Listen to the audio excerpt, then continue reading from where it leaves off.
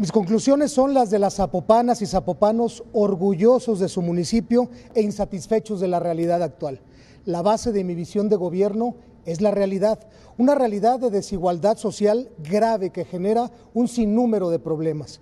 La conciencia plena de tal realidad, la actual desigualdad social, me lleva a plantear tres ejes principales. Número uno, un gobierno solidario para que se deje de decorar donde se ve y se atienda donde se requiere. Número dos, un gobierno de democracia participativa para que tú decidas qué obras y acciones se deben realizar en tu colonia. Número tres, un gobierno desconcentrado administrativamente, pero concentrado en servirte. Un gobierno de puertas abiertas, que esté cerca de ti, que te facilite los trámites y te apoye. Hay casos de éxito aislado en Zapopan. Qué bueno, los aplaudo. Pero yo quiero que contemos una sola historia de éxito, la de todas y todos los zapopanos.